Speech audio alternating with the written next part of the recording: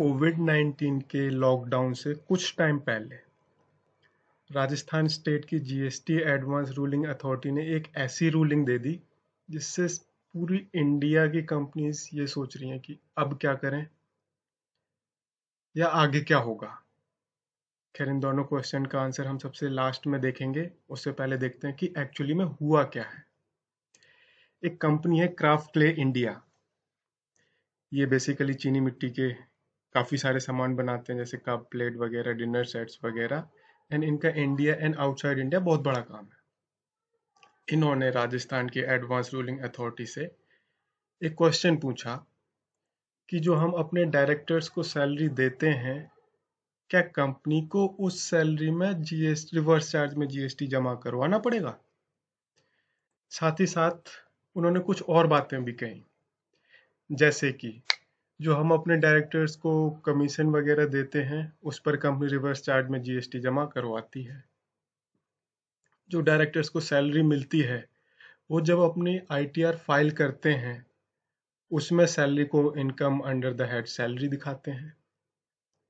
जो हमारे डायरेक्टर्स हैं, वो सारे कंपनी के एम्प्लॉय की तरह हैं। कंपनी उनकी सैलरी में से पीएफ वगैरह भी काटती है प्लस जो सारे बेनिफिट्स हैं, जो कि नॉर्मल एम्प्लॉय के लिए अवेलेबल हैं as per HR policy directors को वो सारे बेनिफिट्स मिलते हैं। साथ साथ उन्होंने ये भी बताया कि जो जीएसटी में शेड्यूल थ्री है, जिसके अंदर goods and list of goods and service है, जिस पर जीएसटी नहीं लगता डायरेक्टर की सर्विस क्लॉज शेड्यूल थ्री के क्लॉज वन के अंदर आती है। और जो कंपनीज़ एक्ट में डायरेक्टर हैं वो तो फुल टाइम एम्प्लॉयमेंट में तो वो कंपनी के एम्प्लॉय होते हैं। उन्होंने बोला जो ईपीएफ e के अंदर डायरेक्टर की डेफिनेशन है होल टाइम डायरेक्टर की वो एम्प्लॉय होता है। कंपनी के मेमोरेंडम आर्टिकल में भी लिखा है कि कंपनी डायरेक्टर को अपॉइंट करेगी एंड उन्हें सैलरी भी देगी।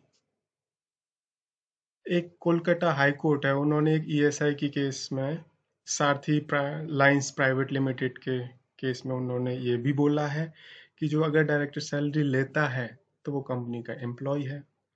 प्लस एक सुप्रीम कोर्ट का भी केस उन्होंने बताया, Ram Prasad versus commissioner of income tax, कि जो डायरेक्टर्स को रेमुनरेशन मिलता है, वो एज अ सैलरी ट्रीट होना चाहिए। अब जो एडवांस रूलिंग अथॉरिटी है, उन्होंने सारी चीज़ें सुनी और अपनी रूलिंग दी। रूलिंग क्या थी? कि यस कंपनी जो भी अपने डायरेक्टर्स को सैलरी देती है, उस पर उन्हें रिवर्स चार्ज में जीएसटी जमा करवाना पड़ेगा। अपने इस रूलिंग की सपोर्ट में उन्होंने कुछ और भी बोला, जैसे कि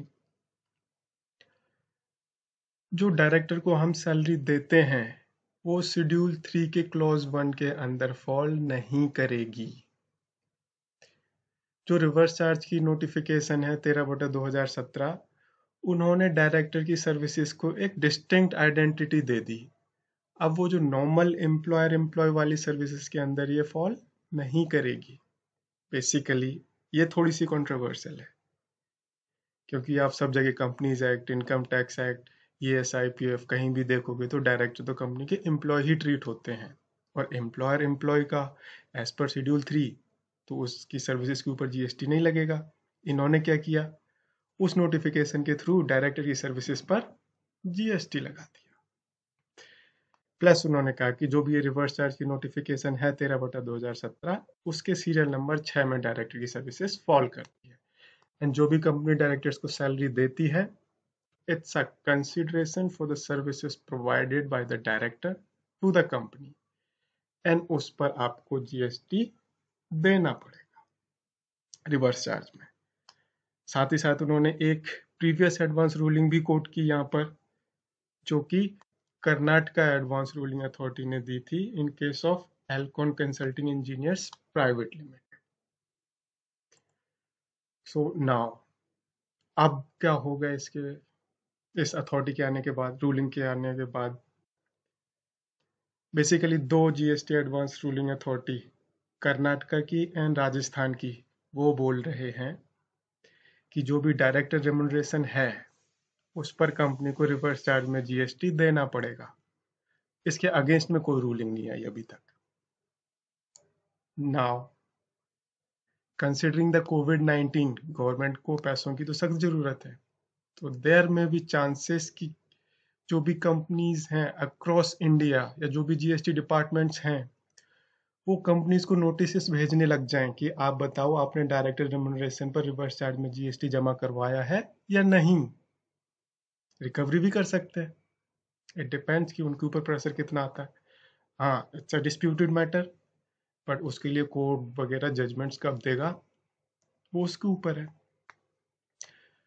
दूसरा, अगर आपके पास ऑलरेडी ऑडिट चल रहा है जीएसटी का तो उनके पास तो एक सीधा सीधा उन्हें पॉइंट मिल गया कि हाँ आप बताओ, आपने डायरेक्टर रेमुनरेशन पर जीएसटी दिया या नहीं दिया? एंड गवर्नमेंट को इससे कलेक्शन कितनी होगी पता करना बड़ा सिंपल है, क्योंकि जब भी हम इनकम टैक्स रिटर्न या फिर आरओसी की जो भी रिटर्न भरते हैं, उसमें मैनेजीरियल रेमुनरेशन या डायरेक्टर की सैलरी सेपरेट दिखाते हैं। तो गवर्नमेंट को तो सिर्फ़ उसके ऊपर 18 परसेंट टैक्स लगाना है और उन्हें पता चल जाएगा कि इतने अमाउंट की हम अभी रिकवरी कर सकते हैं। This is the possibility now companies को क्या करना चाहिए? सी 99.99 परसेंट कंपनीज़ ने डायरेक्टर सैलरी पर रिवर्स चार्ज में जीएसटी नहीं दिया। और इसमें कंपनी के ऑडिटर भी शामिल हैं। उन्होंने भी बोला नहीं लगेगा। कंसल्टेंट्स ने भी बोला नहीं लगेगा जीएसटी ऑडिटर्स ने भी बोला कि नहीं लगेगा। So the best thing is कि वेट करो। मे बी जीएसटी डिपार्टमेंट कुछ क्लैरिफिकेशन लेके आ जाए। बाय द टाइम अपने GST auditor and GST consultant से भी डिस्कस करो कि आप हमें बताएँ क्या करना चाहिए। एंड अपने स्टेचुटरी ऑडिटर से भी पूछो कि जो ये एडवांस रूलिंग आई है, इसका अभी हमारे फाइनेंशियल्स में कुछ इम्पैक्ट पड़ेगा या नहीं पड़ेगा? This is it from me अगर आपको ये वीडियो पसंद आया तो इसे लाइक शेयर एंड सब्सक्राइब ज़रूर करें। बेल आइकन भी प्रेस करें ताकि आगे की वीडियोस के बारे में आपको पता चलता रहे। प्लस अगर आपकी कोई डाउट है तो आप मुझे मेल कर सकते हैं मेरी ईमेल आईडी पर। Thank you very much